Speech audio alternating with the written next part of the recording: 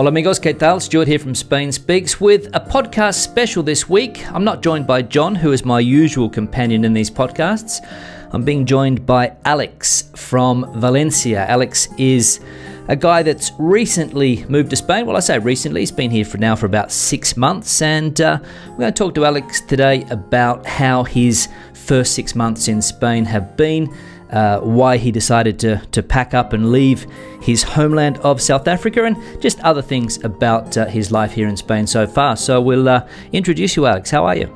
Yeah, really good. Thanks, Stuart. Thanks for having me here. That's that's that's fine. That's fine. And uh, as I said, you've uh, moved from South Africa to Spain. Yeah, indeed. And um, it's been it's been a lot easier than I thought it would be um, in in many senses. Um, maybe that's because I, I, watched quite a few of your videos before I came along.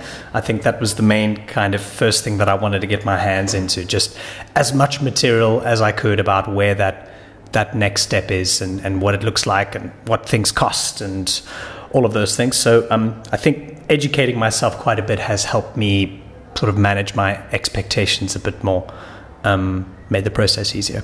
Yeah. And uh, we'll just go through the background of how we uh, met. I think you got in contact about a year ago, was it, or maybe longer? Uh, well, yeah, it was. I think it was just before um, I came to Spain for the first time, which was in August 2017, and that was uh, when I happened to, yeah, just find some of your videos, and then I just reached out as I do sometimes, and uh, and yeah, you were you were kind enough to to come back to me, which was great and then we had a we had a Skype call, which was cool too. So and you uh, you came to, to Spain to to check it out first, to do a bit of groundwork and yeah. Look for uh, look for a possible place to live, and um, you know, and uh, check out the possibilities, right? Yeah, that was the idea. I mean, I um, I, lived in Cape Town for most of my life, and um, I you know I'd started a business, and um, I just had a had a kid. Uh, he was 18 months at the time, and so um, my fiance and I just wanted something completely different. Um, we didn't want to live in the UK, um, and but we also knew we wanted to move away from South Africa, not because of you know anything political or anything like that. It's a beautiful country. It's you know lots lots of stuff going on there, but um, just wanted a change of scene, change of pace. I think the kind of person that likes a challenge, likes things that feel different, and then you've got to ooh, okay, acclimatize a little bit towards um, whatever's around you. So, um, and a big reason as well is because my, my mom is Spanish. So I've got the got the blood, but not the culture. Unfortunately, she um, she didn't speak Spanish to me when I was growing up. So that's also been an interesting challenge, learning the language almost from the ground up. Um, but it's been fun. So we'll talk about that quickly. So the language aspect. So your mother didn't pass the language on to you, obviously. Uh, so you've had to go on through the process of learning the language from scratch, let's say. And uh, did you start that when you came here, or did you decide to get a few months under your belt back in uh, South Africa? It was um, it, it, it, was it was really it's interesting because um, since I've been here, I haven't actually been for lessons, and I've I've been here for seven months already. So so I've been a bit naughty on that on that side. But um, I did go to a very very good um, sort of small school English Spanish teacher. Um, a guy from Alicante actually, and he had a Spanish school in Cape Town, uh, and I, I, I did about four months of lessons, which was great. Um, and then I also just started binge watching uh, as as many Spanish series and movies as I could, you know, just get my hands on. So I went from you know Netflix and Narcos uh, to some older sort of Pedro um, Almodovar uh, movies as well, uh, which was great. Not only because they have Penelope Cruz in them, which is always you know nice to watch, but always um, a bonus. yeah, but um, but it was good to, to, to you know you've got to train your ear. That's the thing I've really learned as well. You know because the, the, the Spanish that's spoken in Spain is is quite quick. It's it's a lot faster than a lot of the Latin American Spanish, and so it's a little bit harder for someone like me to to to kind of learn it and to come you know feel comfortable with it. So training the ear and just hearing it, hearing it all the time um, really helped. Uh, and now, I mean, I can definitely get by. Now I can have a bit of a conversation and, and sort of, um, you know, speak to parents at my kids' school if I need to, or kind of, you know, muddle my way through supermarkets, which, yeah, which helps. So, yeah, that helped. So you're starting to feel confident with the language? I think so. Well, I think so. I mean, I, I, am pretty hard on myself. Like, I, I would like to be um, a lot a lot better at it. Um, I think maybe I feel almost like a bit of a self-inflicted pressure because I'm half Spanish, you know. So I, I feel I should be better. Uh, I feel it should be more than what, what I've got at the moment. But I mean, it'll get there. You know, it's it's only been seven months. Often my fiance reminds me like yeah, you know, don't worry. It's only seven months in. It's not. It's not long. You know, and so um, I know that it will come because every day it does feel a bit more confident. So it is a long term sort of thing. And has that, um, you know, having that that that Spanish blood, let's say, has that uh, made your acceptance there? Do, do, do, do, you tell people that, and do they do they do they seem to make you feel more welcome? Do you think? It's it's yeah, it's interesting. Um, most of the time, I mean, I almost always, you know, tell people that because it just comes up in conversation. People ask me, you know, where you from? How did you get here? And then that comes up. You know, my mom is Spanish. Um, my my grandmother was born in Spanish Morocco in the 1930s, and so she's she's still alive. She's still got this sort of strong like Andalusian accent, um, even when she speaks English. Uh, so I, I kind of got a little bit of it from there. But um, this, yeah, that, that that does come up in conversation, and and when it does, I find a lot of Spanish people um, immediately just switch to Spanish, thinking that okay, well, why are we speaking English? You know, uh, which is a good question, and so that's kind of when I feel ah damn, you know. So I try and go along a little bit, but then I think eventually one of them feels sorry for me and you know just goes back. yeah. Yeah, yeah, yeah, yeah. Yeah, well, that's it. But uh, you know, uh, probably you can um, you can use that to your advantage, I would say. And uh, you chose Valencia. Valencia is the probably the one of the, the cities in vogue at the moment. I think there's a lot of um, publicity towards Valencia. There's a lot of people. Uh, I mean, a lot of the comments that I get on the on my uh, vlogs are people that are looking to come and live in Spain. A lot of them are looking at Valencia. What, what was the reason that, that you decided on Valencia? Was it is that with the, the you said your, your grandmother was from Andalusia? Did you have any contact with Valencia or not? Or no, no contact at all. Actually, um, I have a few sort of second and third cousins in Madrid, but that's about it. Like the the sort of extended family, a lot of them are much older than me. I've never really had much contact with them, so they, they might be scattered around in other places, but I'm, I'm not sure. As for Valencia, um, it was I'd, I'd heard of the place a few times. I think I've seen some pictures and I'd seen a few videos here and there. Um, and also in the past, in the past couple of years, I've, I've, been to Spain once or twice, but I've been to Barcelona only. So, um, you know, as, as, most people do. Um, but Valencia didn't come up on the map until this was a real question like, where do we go? You know, okay, we're looking into Spain. Where do we go in Spain? You know, and so I suppose traditionally people might, you know, go onto the south coast, or maybe if you want to kind of get into the city, you look at Madrid and Barcelona, and those are fantastic options. But um, especially having been to Barcelona and it's and it's wonderful there. But I think we were also looking at a couple things like cost of living. You know, didn't want to jump too far away from what we were used to in South Africa, which I mean is is definitely rising in many ways. It's it's almost directly comparable with what um, we experience, um, you know, in Cape Town, Valencia. It's very very similar um, in terms of rent prices and so on. But um, I think I think the, the size also appealed to me. So I still I still kind of like and I get a little bit of that city vibe. It's nice to kind of feel that they're you know especially in the you know when it's warming up now. There's a lot more people. There's you know there's stuff going on every weekend. There's a festival. There's music playing. There's stuff going on. There's fireworks. So you get that, but it still isn't quite you know, it hasn't quite graduated yet to the size of something like Barcelona or Madrid. Definitely not. Um, so, so, so, so something in that like little middle ground was was very appealing. And then when we came here, um, a lot of that was proven right. Yeah, well, the fireworks aspect, I suppose you probably noticed that uh, Valencian people like to throw uh, firecrackers around the place.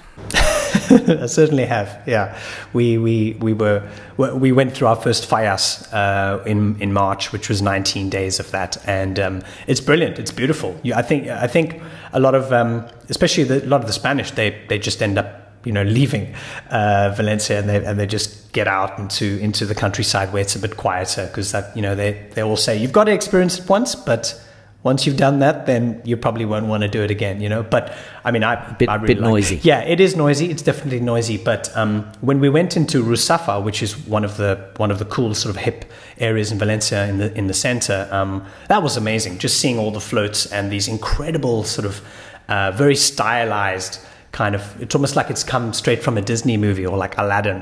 Very very similar sort of style, but so much effort put into each of these installations and massive art pieces. Uh, it was amazing, yeah. And everyone's just always really open and, and kind of extra happy and extra friendly. There's a buzz in the city during that time, so yeah, I, I quite like it. Now you mentioned the cost of living uh, factor because. Now we'll just set a little bit of the background here regarding work. So you've um, you're an established uh, filmmaker, I think. Is it Alex? Is that is that uh, you you? Yeah, I've tried to be. I've got a I've got a video production business. Yeah, for for companies and businesses. And you had that set up in South Africa. Actually, there's a video online where you explain how you made the transition from uh, from uh, South Africa to Spain. But you've, but basically, you've you've brought your business with you, basically, right? That's it. Yeah. So so the business is about two and a half years old, and I've got a partner in Cape Town who's who's also South African, and um, we've been working very closely together, growing it from the ground up. Pretty much started with a camera and two laptops, and now we've got two full time guys in the office, and it's growing. But then about a year and a half ago, I said to him, "Look, like I'm kind of giving you my long term." Notice in a way here. You know, I'm, I, I want to I want to move. I want to leave South Africa. I want to live in a different place. And that was still when we were kind of deciding on where that would be. Um, and then we we kind of just incorporated into the way that we ran the business, so that by the time I left, it was it it felt like a kind of a natural progression of where things are going. So yeah, and it's going okay so far. Cool. So you'd classify yourself now now a um a, a, digital. I don't like this term much, but a digital nomad that you've been able to uh, you know to uh, yeah to to set up. Yeah, yeah. I, I suppose. I mean, it's it's um. It's, it's still a full time business, so it's a full time role. It's not like I'm a freelancer where I can kind of, you know, check in from nine till 11 and then, you know, kind of, you know, go to the beach for a couple hours, even though I, I you know, I sometimes do that. But um, don't tell my partner. But um, uh, yeah, it, it's still a full time role that, that that does require you know my time. But I can I can do it from almost anywhere. So so yeah, I suppose digital nomad. Yeah, it's a funny term, isn't it? And um, you're trying to build a, a, customer base here in Spain as well, or are you just going to rely on the South African side?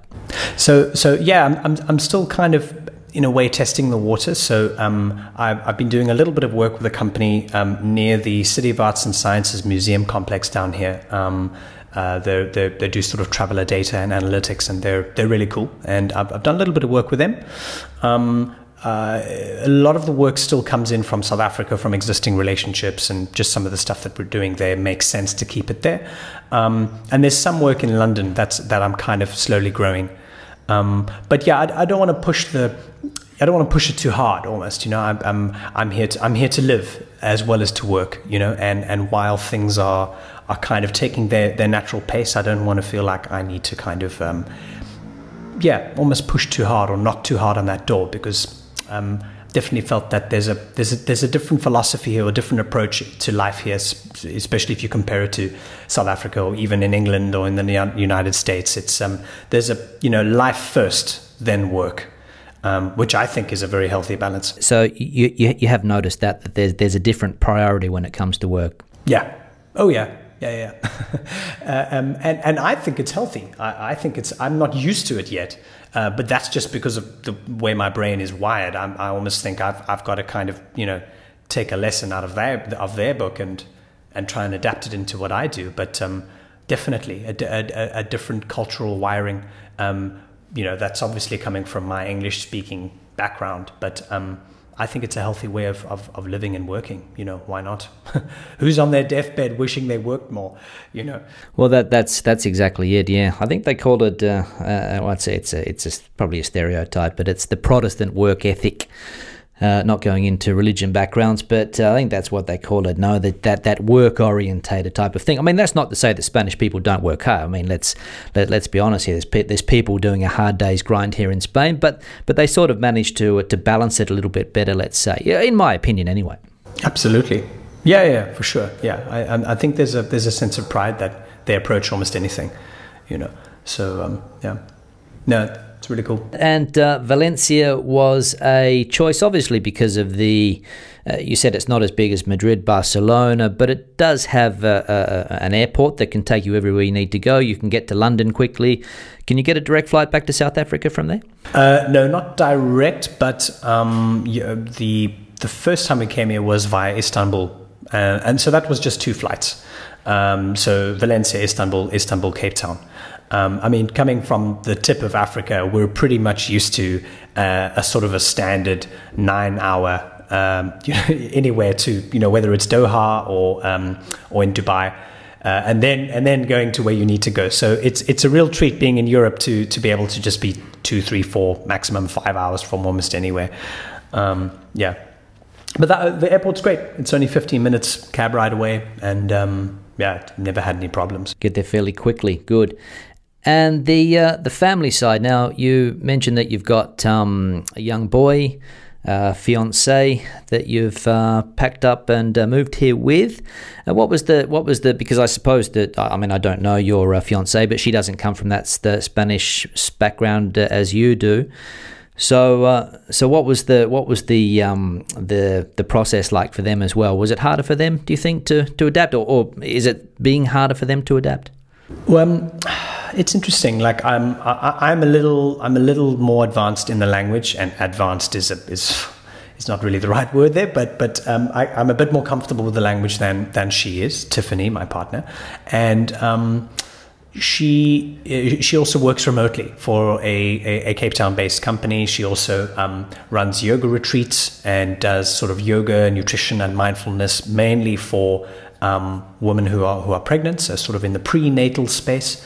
Um, and she does it very well and all that. So she's also super busy. And so when you're busy and you're kind of, you know, your plate is already 90% full, plus you move to another area or another, you know, part of the world, um, I think sometimes that, that, um, that lead time that you have to you know being you know having that feeling of being completely settled just takes longer you know. For example if we were um, both you know going for a spanish job then we probably would have had you know much more incentive or the need to learn spanish much more quickly and just get into it and you know have spanish friends and all of that and and, and we do and we're getting there but it's just it just takes a little longer. So i mean um, that's on the one side. The other side is that it's also been very comfortable. You know, we've we've had no real problems um, getting a getting a place. Um, we we bought bikes and we cycle around all the time. We don't we don't have a car at, for now at least, but you can certainly make do without a car.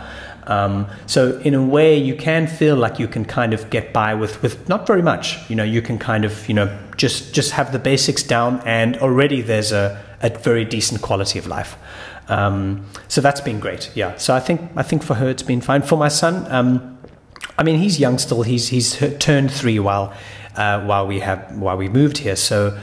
Um, he's he's loved it. You know, he's he's been at a school. We're going to probably be moving him to a um, a public school um, next uh, next year for September in the next sort of uh, phase. Um, but but he's loved it. He's made friends. He's super gregarious as well, so it's easy for him to kind of just be thrown into any situation. And and um, so yeah, the, the, the change for them has been better than I thought it would be. Actually, you know, yeah. Lucky. And um, that point you made there that Valencia is a manageable city, that you don't need a car, you can get around fairly easy, that urban type of living, which is probably quite attractive, you know. You've got all of the services you need, all of the services you need probably within a stone's throw where you live, and getting around the city on bikes, probably fairly flat and, you know, really, really manageable.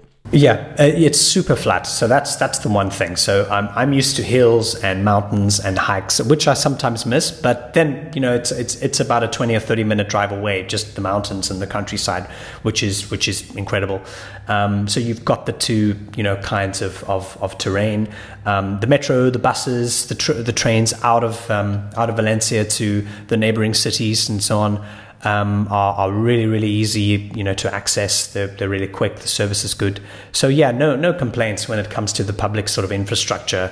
Um, and uh, yeah it's it's it's been pretty good. And uh, one thing I, I, I really don't like and I've been told that that this is something that just happens uh, in all of Spain is that while I don't have a pet um, or a dog or a cat they just aren't fans of picking up their dog poop. Uh, and so and so that's just been something I've had to kind of, you know, dodge the minefield here and there. uh, as I've been walking in the streets. yeah, it's a problem everywhere. It's uh, uh, unfortunately uh, it's a problem. I, I don't know what the mentality is. I mean, I can walk outside where I live here in a residential neighbourhood, and uh, the, uh, there's a school across the road, and the other side of the um, for the other footpath from opposite the school is just it's as you said, it's a minefield. So. Yeah, that's uh, that's that's something that uh, we could we could criticize, obviously, but um, you know, uh, yeah. As long as you don't step in it, yeah. Well, when you do step in it, you uh, you have a problem, and uh, yeah, especially if you're uh, especially if you're on your way to work. But yeah, the the the advice is always walk with your head down. That's it. Walk walk with your head down. Yeah. I'm not pessimistic. I'm just being cautious. Yeah, yeah and the other the other thing is that um, because you don't get a lot of rain, well, uh, obviously Val- Valencia is probably similar in that regard. That you can, you know, the summer period coming up, you'll probably get you know four or five months without much rain, and it's not only the dog poop, it's the it's the it's the other um, um, you know it's the it's the it's the piss and all of those things which build up, and the same dogs are doing the same treks every day, and uh, it, it, it, it, can get a bit smelly. It can get a bit smelly. Yeah. Mm. Oh yeah. No, I've picked that up. Unfortunately, there's there's there's definitely a bit of a waft. In the mornings, it's nice because in the mornings I go for a run. It's it's um, it's still kind of quite quiet. There's some people in the Turia that are walking or taking a run as well, and and that's fine. But sometimes, especially with the heat of the day coming in, then yeah, there can be a bit of a stench. and and then when you get the when you get the uh, the public um, fairs and all of those things, the human element comes into it as well. So because there's a lot of alcohol consumed and not a lot of toilets, so that can that can be a problem. So the uh, adaptation to the the new city, uh, Alex. How I mean, you mentioned the cost of living's fairly similar to what you were experiencing back back there in Cape Town. So obviously that wasn't you know anything out of the ordinary. But but what were the what were the most difficult things to uh, to adapt to? I mean, because you know coming from a country like South Africa, it's you know probably uh, I wouldn't say it's the exact opposite, but you know probably probably a lot of differences. There are definitely a lot of differences. Um, I would say most of them quite positive. Um, there's there's definitely a feeling of safety um, that is that is a lot stronger. It's just one one level up, you know, on the on the overall vibe to be able to go out and kind of always feel like you're safe. You don't really have to be looking over your shoulder. Um, I never take that completely for granted, but um, there's, there's there's definitely an element there that that that is better than South Africa. In terms of adaptation, like um, I don't think that there's anything that uh, would be uh, specific to the Spanish or, or, living in Spain that you maybe wouldn't have found anywhere else, you know, moving to a different place. So, for example, um, you know, the, the kind of the niggly things that are the, the admin, you know, getting your son into school, um, making sure that there's a flat to move into, opening a bank account, um, making your first uh, set of friends um, you know, knowing where to go, where the closest supermarket is, all of those kind of, you know, settling things that everyone needs to do. I'd say that they were quite easy to do. Um, you know, it's not like we, we went to a, a, a, sort of a rural island somewhere. I mean, you've got amenities everywhere you go. So it's, it's quite easy to kind of find that type of, uh, those types of things. Um, the, the, the, I, I would think, and this is a bit of an extended thing, but actually the only real big problem on my side was something that was was um, personal to my situation in, in a sense. So um, because of, of some mix up with um, the consulate in Cape Town that I'd been dealing with for um, a while, um, there's some law in, in, in, in Spain that says that w- children of, of Spanish born parents, which is me in my case, because I wasn't born in Spain, but my, my mum was, um, they need to declare that they have an intention to keep their nationality, their Spanish nationality, once they turn 18. And that is a sort of a three year window until you turn 21 in order to do that. And so I didn't know about this law, and this time had expired already. So I'm 28. This happened seven years ago. Uh, and then they told me that actually your nationality had been revoked. And I was like, what? I've got a Spanish passport here. I've come here. I've moved here. You know, my son's got a passport. Like, what what's going on? And so I had to. It, it, I kind of went into a bit of a tailspin because I needed to find information. You know, find out as much as I could because that's how I sort of try and deal with things. I try and just ask questions and get in touch with as many people as possible, just to, you know, shed some light on what's going on. Of course, being at a disadvantage with the language didn't help. So I kind of had to really quickly, you know, train my ear on that and help get other people to help me. But I found that one irritating or sort of difficult area of adapting is that when it comes to some of those official procedures of, of, of kind of getting the real answers and the real information that you need, whether it's moving here or passports or home, you know, not home affairs, but sort of like, um, uh, you know, home, home office or whatever you might call it. Um, it's it's it's difficult. It's it's yeah. Uh, I, I think people are maybe scared to be seen to be making a decision that they think might uh, kind of come back to them or you know might get them in trouble and so it's easier just to kind of pass that along to the next person along the line talking about civil servants civil, yeah exactly yeah i mean I'm, I'm, sure they're not all like that but um, and, and I've certainly met some helpful people on the side, which has been a godsend because um, it was a bit of a, a, shock, this whole situation to me. You know, we moved here, we come in good faith, we, you know, I'd moved my life here, and suddenly I'm told that I, you know, I'm not Spanish. Um, so anyway, I'm, I'm busy in sort of in process now of kind of um, sorting that out. But it took a while, and unfortunately, it took a bit of adapting to get used to the fact that it's not just about sorting it out when you want to. You've got to play the game. You've got to kind of go through the process of sort of their much slower process in my in my opinion. That's the that's the key. I mean, bureaucracy is always going to be the the thing that people are complaining about here in Spain. I mean, there's endless blog posts and endless comments about people having problems with the bureaucracy and uh, uh, it, it is surprising because there are a lot of people working in civil services here, you know. So, so everywhere you go, there's a public office. But, but I think you, I think you're right that people people don't want to make a mistake. They don't get paid to to handle um, problems, you know. So, so they'll pass it on to somebody else, or it's somebody else's problem. In fact, uh, in Spanish, there's an expression called um, uh, they, they they call it a, a, marron, like a brown, and basically it's you know when there's a tricky situation, it gets it gets passed on to somebody, you know, and uh, that that that's common in public sector and private sector and, and basically everywhere. But but uh, so what did you do from that point of view, Alex? Did you did, are you here as a as um as a a foreigner then, or are they? Is there some type of transition process or?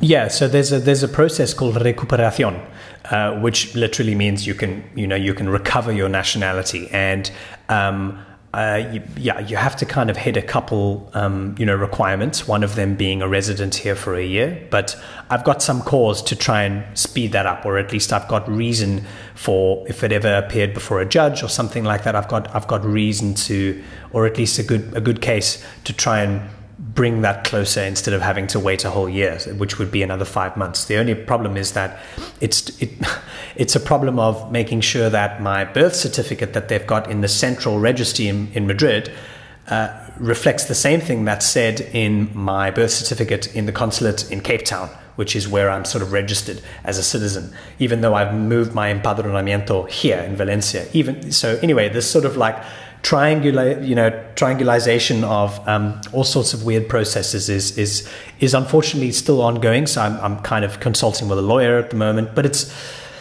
it's it's I, have been told that look, it's going to happen. You're fine. You know, I'm not here illegally or anything like that. Um, unfortunately, it also means that I I have to delay my partner's residency process because without me having recovered my nationality, I can't get a Spanish ID number, and without that, she can't you know get that. So that's still a bit of a thing that we're negotiating, but.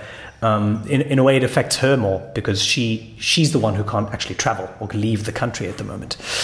Yeah, yeah. Um, but I mean, it doesn't affect the day to day, which is good. So I imagine this is because uh, Spain doesn't recognize dual nationality with South Africa, right? Basically, it's it's not so much about. Well, I, I don't think it's that. Um, it's it's more about the fact that South Africa is obviously not part of the, the EU and part of the Schengen zone, and so I could come here as a. I actually tried to um, apply for a sort of a. Um, uh, you know, a, a, a, a, Schengen visa on my South African passport, but they immediately said, no, why? You're a Spanish citizen.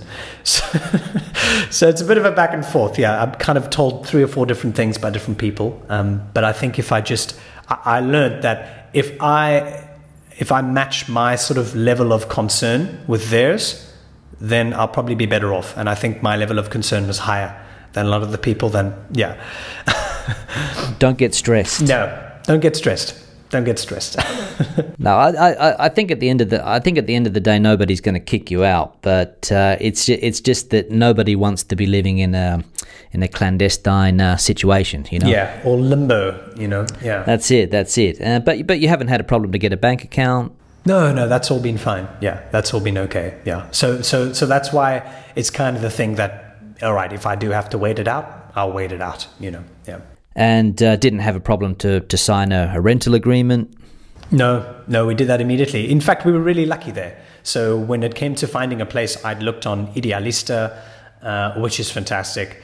Um, I, I, I kind of reached out to a couple local property agents that I found on Facebook, and, and just through just kind of digging around a little bit, and um, and then when when we came, we made a yeah it was actually good decision we made. We we originally booked an Airbnb in an area that we kind of liked here um, for two weeks, just so that it gave us time to find a place and so that we could you know open a bank account and so on. Um, and we we lined up a couple viewings, and the second place we viewed, we were like, oh, we love it yeah, it's great. Yeah, yeah. So it's it's it, we're lucky. Yeah, it's a four bedroom apartment, um, which is certainly more than we we wanted, but it was really good value, right next to the Turia Park, the river. Um, great location. Yeah, I'm very happy here. So that was lucky. And what are you uh, not meaning to get too personal, but what are you what are you paying for rent there? No, not at all. I pay eight fifty a month. So eight eight fifty for a four bedroom apartment uh, in a good area of Valencia. Very, very good area. Yeah, lovely. So it's it's it's. I can look into El Carmen, which is the the, the kind of the you know the old town, um, and I'm actually glad that I'm not on that side because it can get quite loud and quite.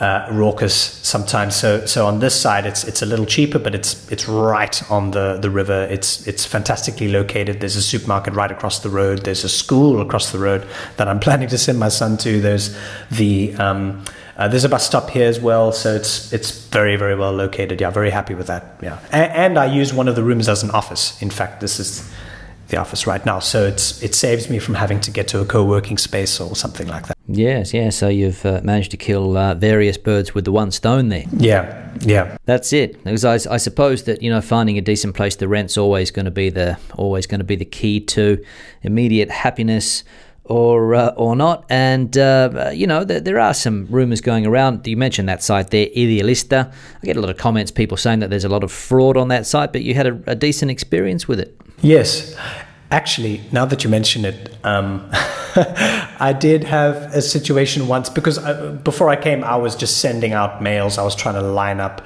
a couple viewings with some private um, landlords, and and the one time there seemed to be a bit of a fishy exchange of messages. Um, so, so I, I, do, yeah. So I think you just have to look out for it. I mean, there, you know, there's scammers everywhere, really.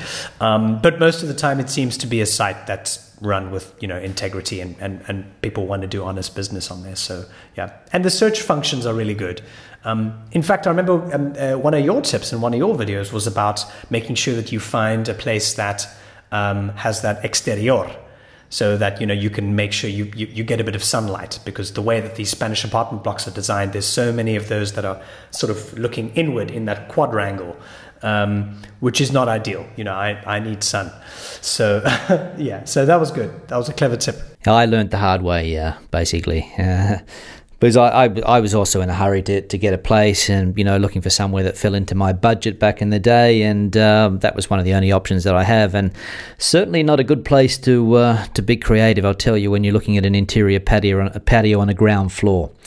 But uh, with all of the stuff that falls from above as well. So uh, and neighbors and furniture and yeah an interesting experience yeah, neighbors. That's right. Yeah, yeah, yeah. A lot. The uh, Spanish people are very uh, communicative as well. They like to have the uh, interior patio conversations. Uh, where uh, neighbours are yelling out from one side to the other. That seems to be a fairly common thing here as well. But um, yeah, yeah, I've heard quite a few of those. Yeah, that's it. Just the way, just the way the country works, I think, in that sense. So, uh, so yeah, so um, uh, seven months, you said, so seven or eight months. So mm, everything been positive so far. Yeah, it's been good. It's been very good. I mean, um, we we take walks every day into the into the park and I mean, the days are getting longer now, so you know it's half past eight, nine o'clock, and it feels like it could be four or five in the day. So that's beautiful. Um, and and summer's coming up. So it's it's actually been two winters in a row for us because we left Cape Town just at the end of the winter in October last year, and we kind of went into the winter here, and so we're we're yeah we're ready for some solid beach time. Um, but uh, but yeah, most of the time it's been pretty good. I think we have a decent quality of life here, um, and aside from a couple sort of little niggly elements, um, I think we're quite happy. You know, I think um, it, it's definitely the kind of place that that you can feel you can you can if I was sort of you know 60 or 65 or something like that I could definitely see myself wanting to retire to maybe a little bit outside of Valencia where it's um, a, a, bit more mountainous and um, you know you got a bit more space and you can kind of have um, you know, possibly a, a, couple options with houses or gardens or whatever the case may be. Um, so it does give you the feeling that that it's it's it's sort of you know quite sort of stable and safe and um, um you know. But I think when you go closer to the center, then you, then there is a bit of a bustling city that I think in the next sort of decade or so, maybe even sooner, it'll it'll keep growing. You know, it's definitely a place that's on the up. Um, in fact, when I was coming back from London a couple of weeks ago, I saw a massive uh, billboard um, in Stansted Airport that said, uh, and it was a picture of the arts, arts, City of Arts and Sciences or one of the landmarks in Valencia. I can't remember which, but it said in massive writing, "Make sure you get to Valencia before it get becomes the new thing." Um, yeah, so um, I think that's that's your answer right there. Well, Valencia, Valencia was um, it was the how would I say? How, how, can I say this? Valencia was the the epicenter of the corruption a few years ago, and um, I didn't know that. You didn't know that, no?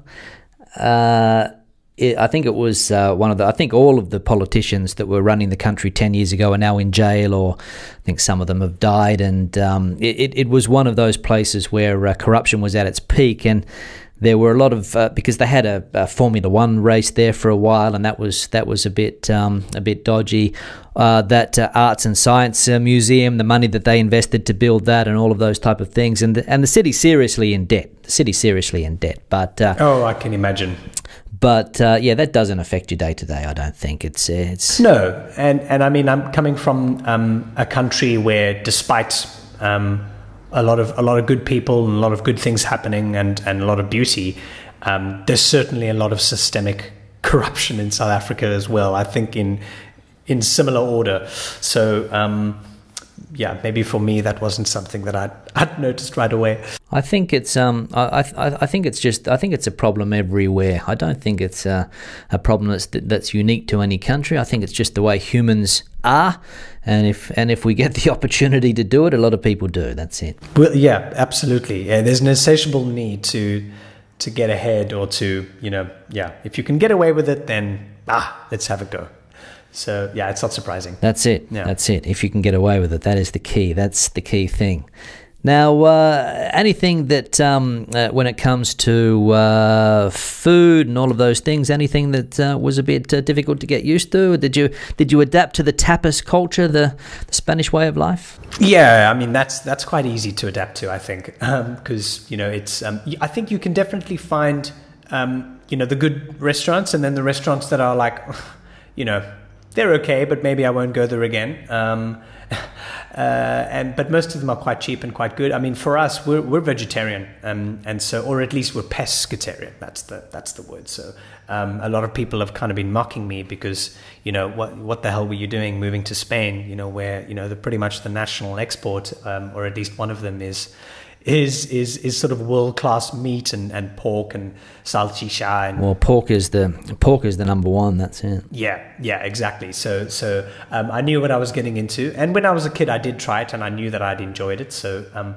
but um, in terms of vegetarian options and, and options where you don't always want something meat based or uh, whether you're vegetarian or not, you, you can definitely find it. I think there's still a bit of a way to go. So when it comes to, for example, really good Thai food, um, or um, uh, really good Chinese, or maybe a couple other sort of like you know um, sort of famous cuisines, but done right, done really really well.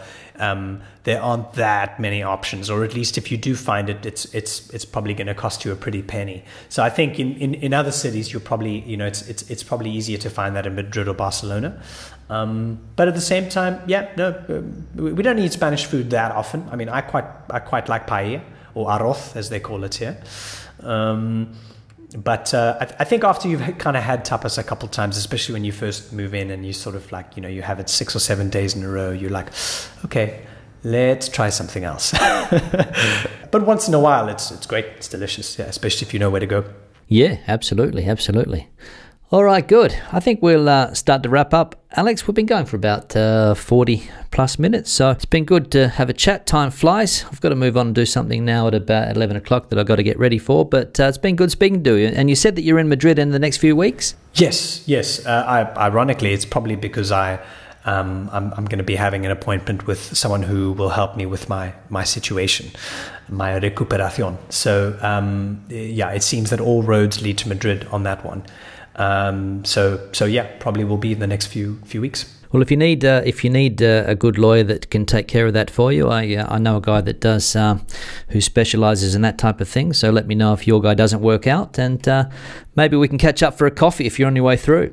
For sure, absolutely. Thanks so much, Stuart. Yeah, and thanks for your help over the over the years as well. Yeah, yeah. Yeah, yeah. No worries, no worries, no worries. So uh, we'll start to wrap up. So uh, questions or comments, leave them in the section below. I'll thank Alex for his participation here today. Thanks so much. And uh, I'll see you all in the next podcast. Hasta luego.